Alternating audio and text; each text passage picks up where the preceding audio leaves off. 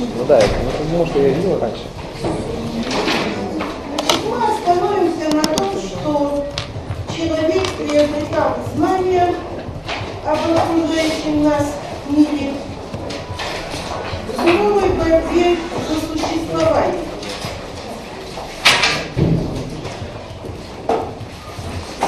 Каким образом человек отходил от животного мира? Ну, во-первых, он развивал свое мастерство и интеллект, который был направлен на изготовление все более и более совершенных каменных орудий, ловушек для охоты. Значит, вот на этом человек оттачивал свои умения и знания.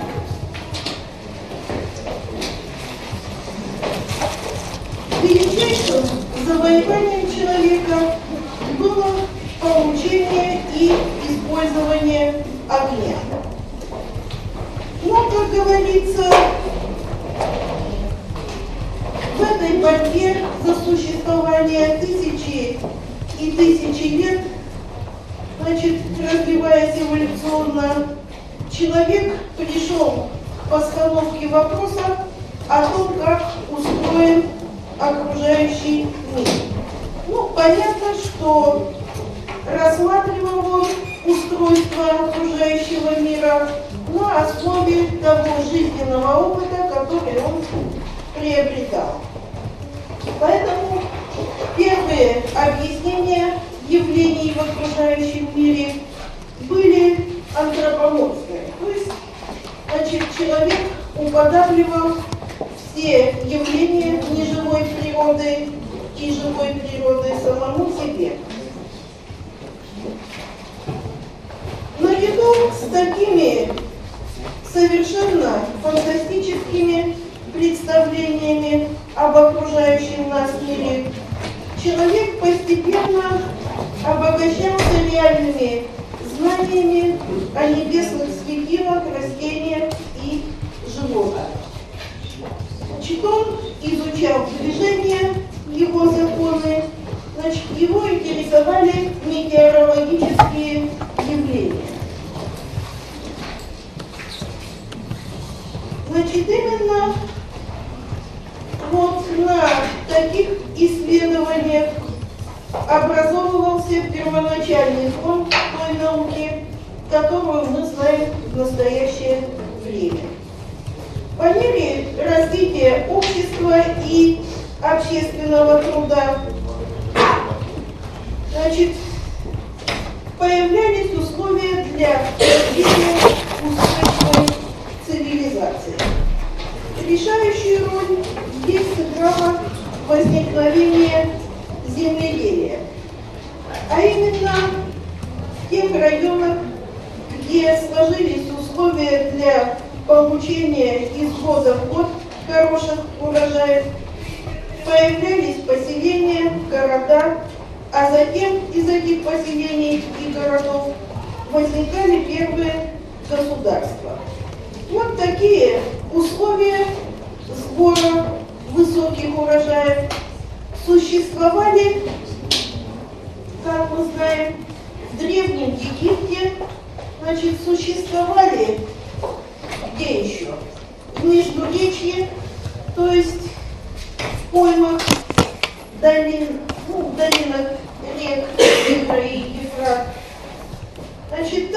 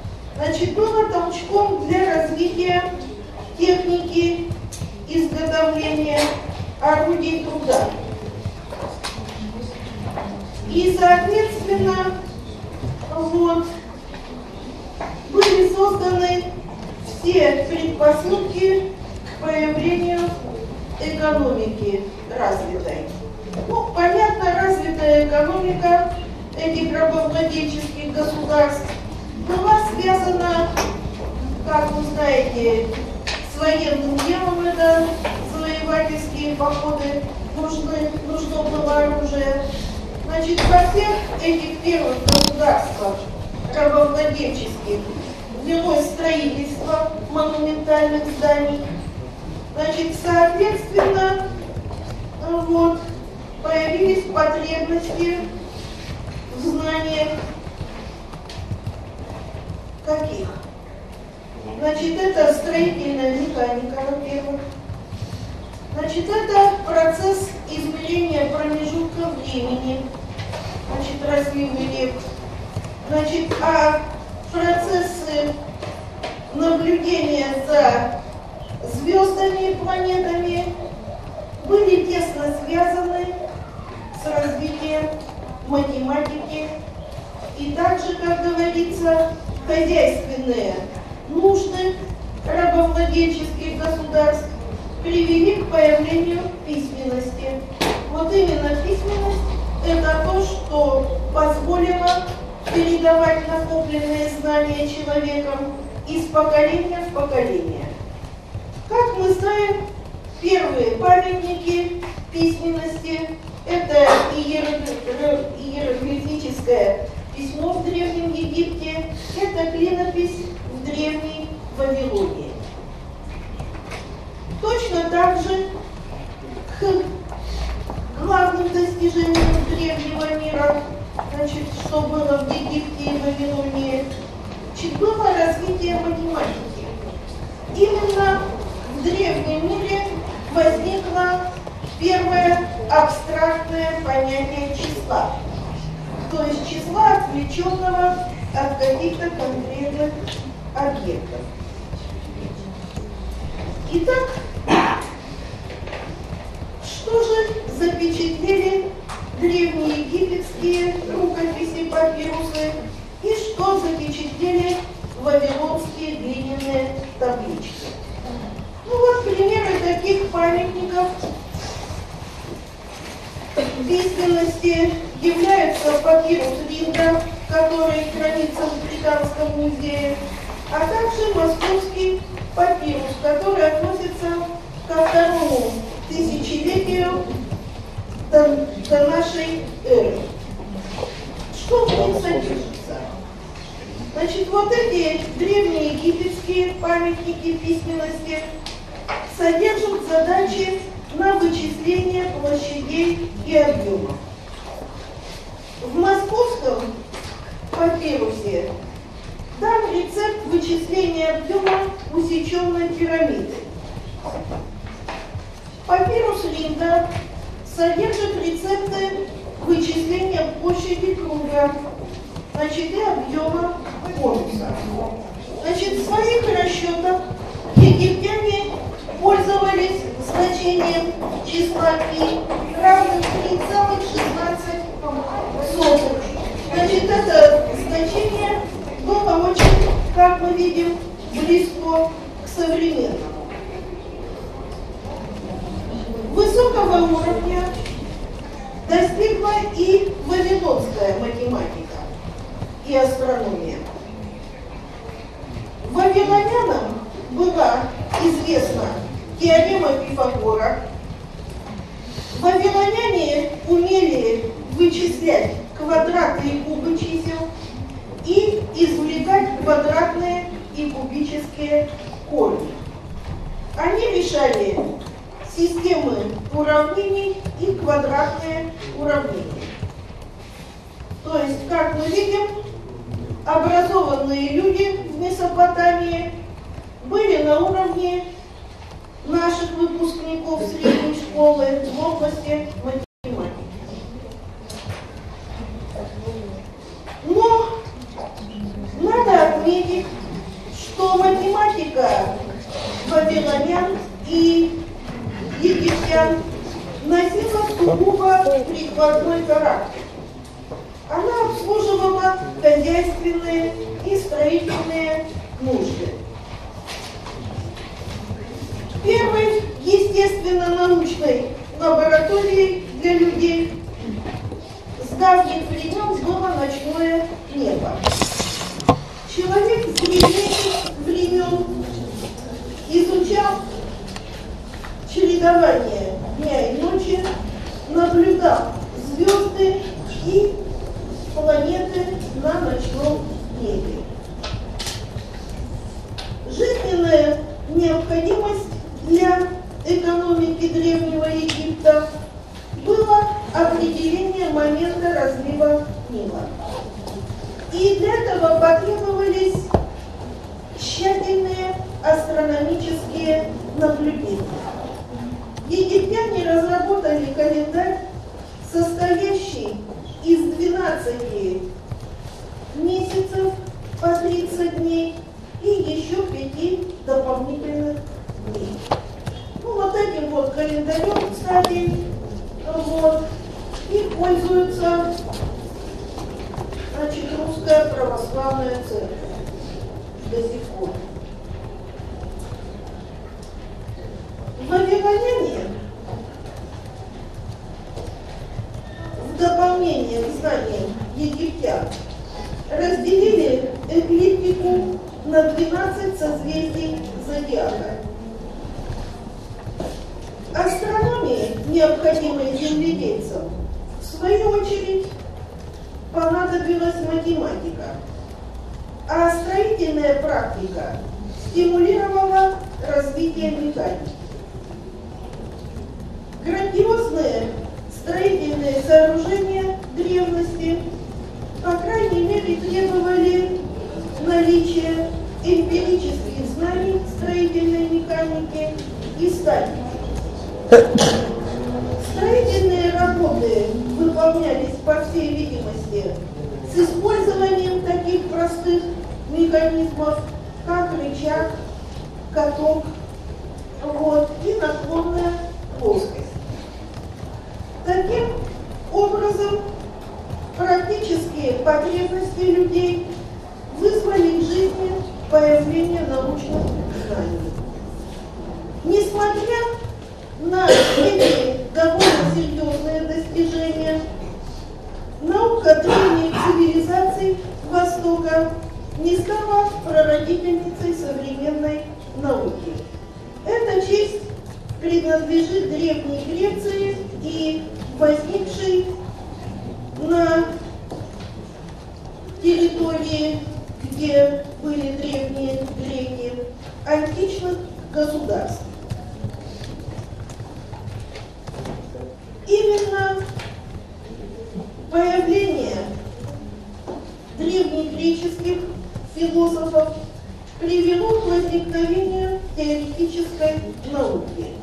Ну, действительно, вопрос о том, как устроен окружающий нас мир, мало волновал египетских и вавилонских жрецов.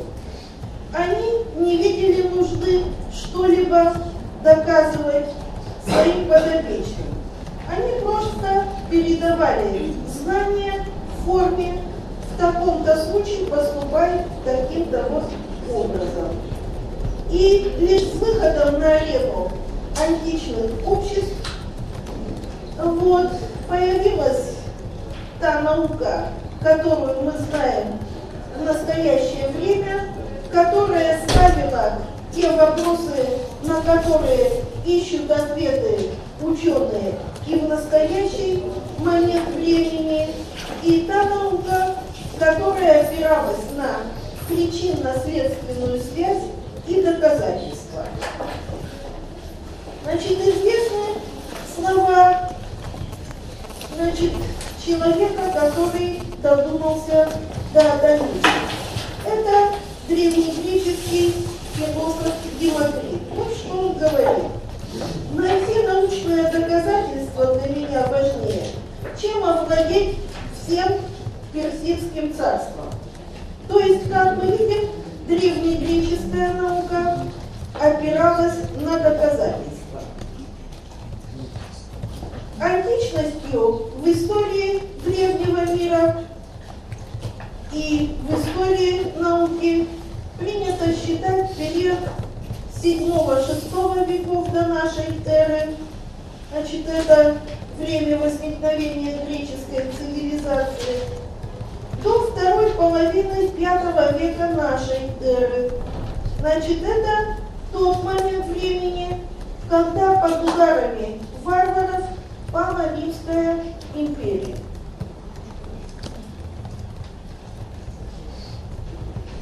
Здесь, как говорится в этот промежуток времени, значит, мы имеем в виду научные школы эллинистического мира, значит, а также Древнего Рима периода республики и империи.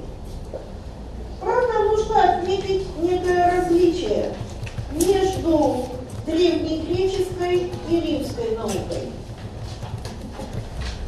Они связаны в основном с национальным менталитетом греков и римлян, соответственно. Значит, греки – это творцы науки. Поэтому многие научные идеи, которые возникли тогда, много тысячелетий назад, и сейчас остаются в центре внимания ученых. И сформулировали эти вопросы древние греки.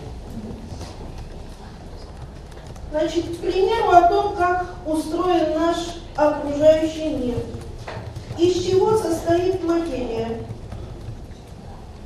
В то же время главным качеством римской науки был прагматизм. Именно в Древнем Риме знание гидростатики было, к примеру, реализовано в тех ведуке, которые работают и по настоящее время.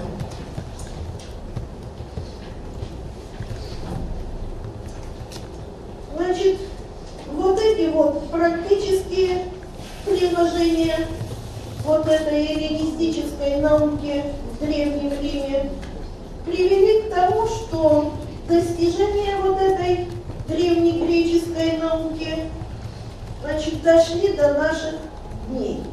Именно вот этих вот прикладных изысканиях римлян.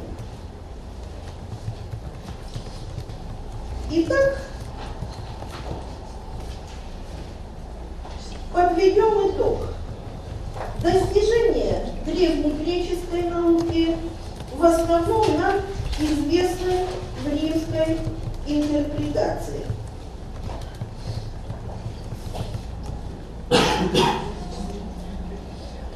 Достижения античной науки настолько велики, что практически в любой области современной науки мы ведем отсчет от античных времен. Феномен античности как специфической формы цивилизации, значит, он основан на анализе исторических и социальных причин, которые позволили в это время развиваться науке. Давайте посмотрим, из кого же состоял основной контингент населения эллинистических городов. Это были свободные люди, купцы и ремесленники. Они были наиболее активной частью населения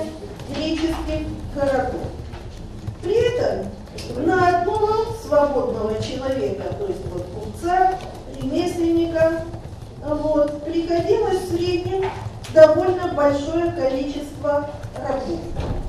Это позволяло производить много прибавочного продукта. И за счет этого прибавочного продукта можно было обеспечить жизнедеятельность той прослойки людей, которую впоследствии назовут интеллигенцией. Значит, это писатели, ученые, артисты, художники, учителя. Античное общество было способно содержать такую прослойку населения. Второй особенностью эллинистической культуры, обусловившей возникновение науки современного типа, явилось наличие рабовладельческой демократии. История свидетельствует, что культура и наука развиваются наилучшим образом в условиях, когда в обществе реализованы демократические права и свободы. То есть, иными словами, когда ничего не сковывает развитие научной мысли. Ну, что можно сказать об эллинистическом обществе? Оно было свободно мыслимо, вот это общество, и веротерпимо. Поэтому в античные времена никакая религия не накладывала ограничений на научные исследования. И был полный простор для научной мысли. Надо отметить, что наукой в древнем мире занимались не только потому, что это было нужно для общества, но и потому, что это было интересно. До нас дошли некоторые труды античных ученых. В основном они дошли до нас в арабском переводе. Дело в том, что при распаде Римской империи самая крупнейшая библиотека древнего мира, Александрийская библиотека, оказалась, как мы знаем, в Египте. Соответственно, туда пришли арабы, принесли с собой ислам, вот, а ислам очень бережно относился к процессу приобретения знаний. Поэтому труды древнегреческих и римских ученых подлежали тщательной сборке, охране и переводе на арабский язык. Итак, что же сохранили для нас арабы? Они сохранили сочинение Аристотеля «Физика о небе, о возникновении и уничтожении метеорологика.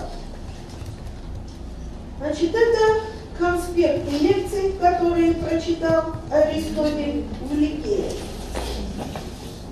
Целиком сохранился труд Платона, который носил название Тимей.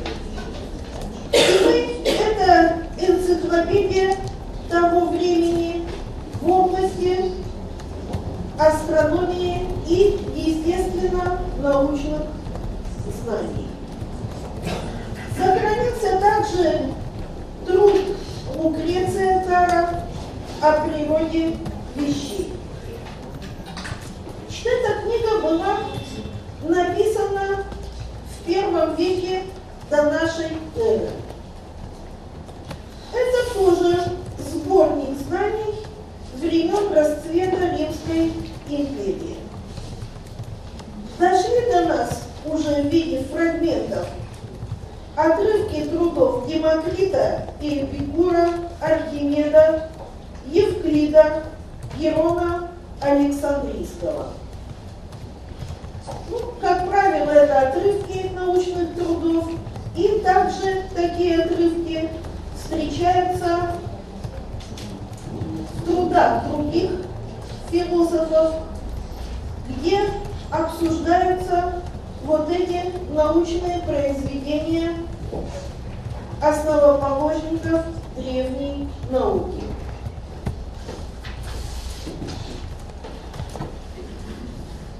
Как говорится, именно в античный период возникла та наука, которую мы имеем в настоящее время. Поэтому здесь очень важно понимание специфических особенностей античной науки. Это совершенно необходимо для всего процесса развития науки. Вот давайте перечислим основные особенности античной науки. Первая особенность. В первую очередь историкам науки бросается в глаза то, что в античном естествознании полностью отсутствует эксперимент. В наше же время мы видим, что все естественно-научные исследования имеют опору на эксперимент. То есть именно в эксперименте ищутся истоки знаний и подтверждения правильности научных теорий. Итак, почему же в древнем мире ученые пренебрегали экспериментом? Здесь есть две причины. Первая из них – идеологическая. В рабовладельческом обществе свободные граждане не занимались физическим трудом. Физический труд в эллинистических государствах был уделом рабов. Ну, понятно, что рабы не входили в число любителей мудрости. Таким образом, экспериментальные и теоретические исследования в античности были несовместимы по идеологическим причинам. К тому же, к этим идеологическим причинам были также и экономические соображения. Экономический базис рабовладельческого общества был достаточно слабым. Отсутствие материальной базы, слабый уровень развития техники делали невозможным эксперимент. И в распоряжении античных ученых оставались только наблюдения за теми или иными явлениями природы. С другой стороны, это все не касалось ряда областей жизни античных государств. Это военное дело и строительство. В этих областях научные исследования, которые мы бы назвали экспериментом, велись особенно интенсивно. Именно в этих областях античной науки имелись ряд выдающихся инженеров и ученых.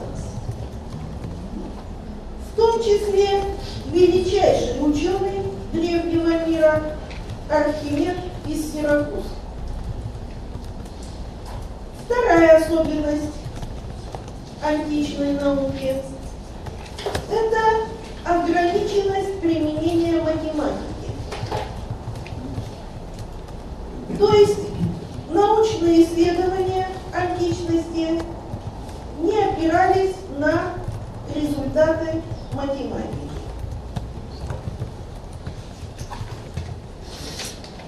Общественный строй жизни, темпы развития экономики в эллинистическом мире приводили к недооценке количественных показателей.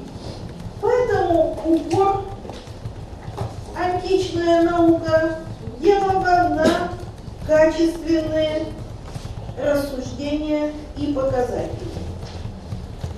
Математика в древнем мире в какой-то момент отошла от естественных наук.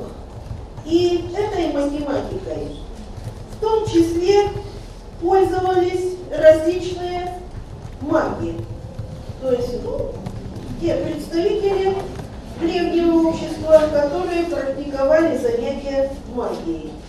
Именно вот из этого древнего мира к нам пришло понятие чертовой дюжины, числа зверя и счастливой семерки. Вот. То есть применение математики в древнем мире пошло совсем не в нужную для общества сторону. Теперь давайте выясним, почему мы утверждаем, что современная наука произошла от античности.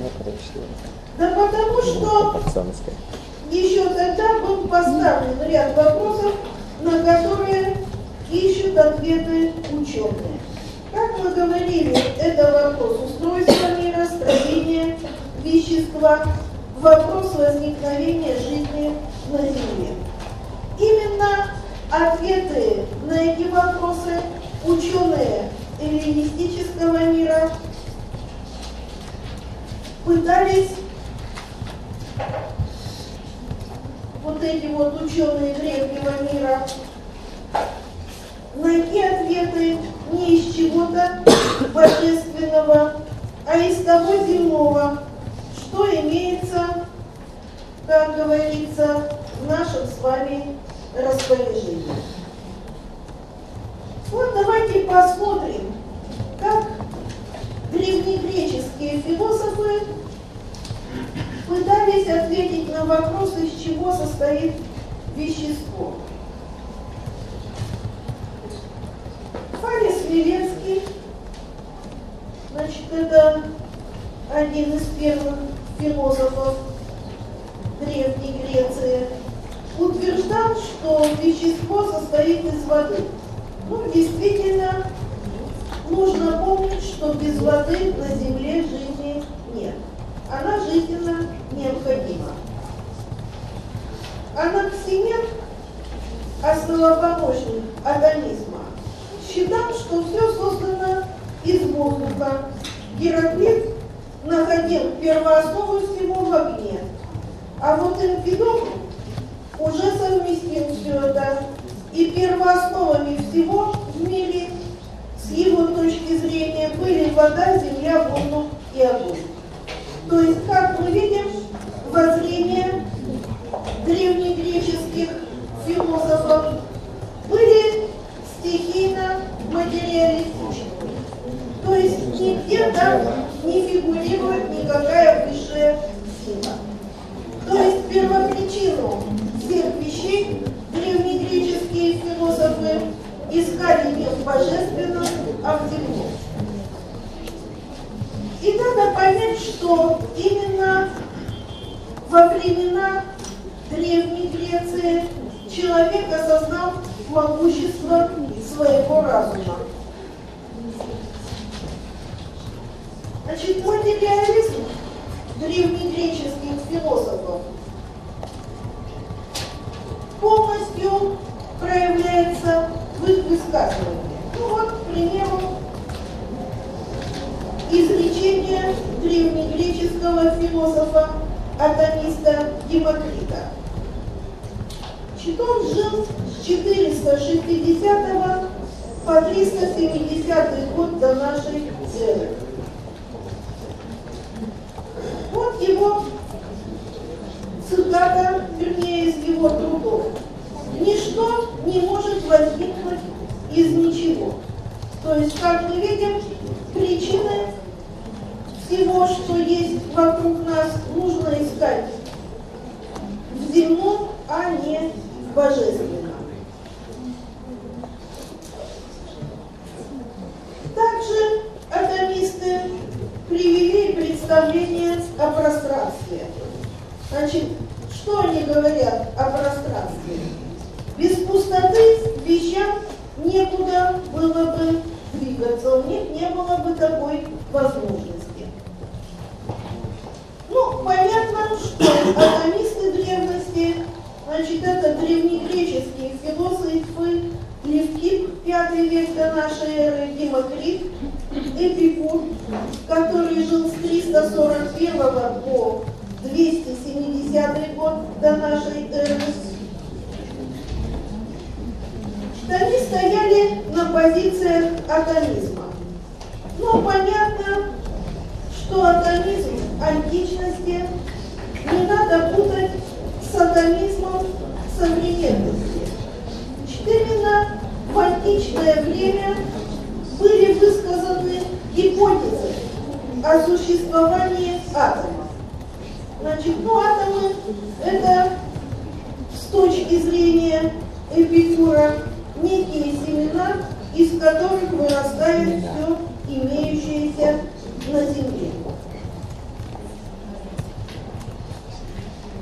Значит, все выводы древнегреческих атомистов, как мы видим, были умозрительными. Понятно, они не подкреплялись никакими экспериментами, это было не в традициях древнегреческой школы. Ну и понятно, что атомы не обладали легко обнаруживаемыми свойствами. Поэтому понадобились тысячелетия для того, чтобы найти проявление свойств вот этих атомов и воочию убедиться, что они существуют. То есть вот на этом мы с вами ставим точку и идем отдыхать.